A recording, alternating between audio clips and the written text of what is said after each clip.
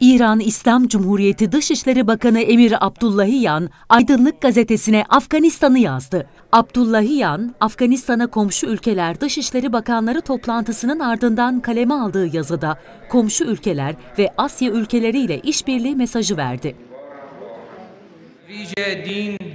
İran'da Cumhurbaşkanı İbrahim Reisi önderliğinde kurulan yeni hükümetin dış politika anlayışını değerlendiren Abdullahiyan, Asya ülkelerinin öncelikli olduğu ilişkiler vurgusu yaptı. İran İslam Cumhuriyeti Cumhurbaşkanı Doktor Reisi, dengeli, dinamik ve akıllı bir dış politikanın formüle edilmesini gündemine alarak büyük girişimine başladı.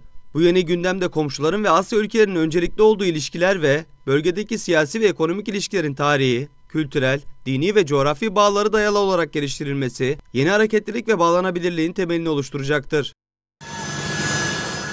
Abdullahiyan, Amerika'nın Afganistan'dan utanç verici ve feci bir şekilde ayrıldığını, bu durumun Afganistan'ı belirsiz bir geleceğe ittiğini belirtti. Yazısında Afganistan yönetiminin gelecekteki sorumluluklarına da değinen Abdullahiyan, bölgesel işbirliği ve kapsayıcı hükümet vurgusu yaptı. Afganistan'ın geçmişinin trajik tarihi, bölge ülkelerinin güçlerini birleştirmesi ve halkların sorularına ve beklentilerine toplu olarak yanıt vermesi, daha müreffeh, güvenli ve istikrarlı bir ortam yaratmak için çaba göstermesi gerektiğine dair önemli ilkeyi hatırlatıyor. Bu değerli çaba dayatılan ya da hileli bir modele değil, bölgesel işbirliği için yerli, her şeyi kapsayan bir çerçeveye dayalı olarak gerçekleştirilecektir.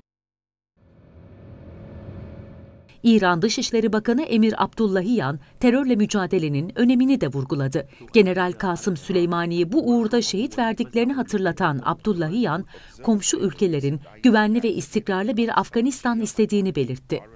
Komşu ülkeler güvenli, istikrarlı ve ekonomik olarak müreffeh bir Afganistan istiyorlar ve yerinden edilmiş insanlar ve Afganistan halkının geçim kaynaklarına ulaşmasının kısa vadede yoğun bir ilgi gerektirdiğini vurguluyor.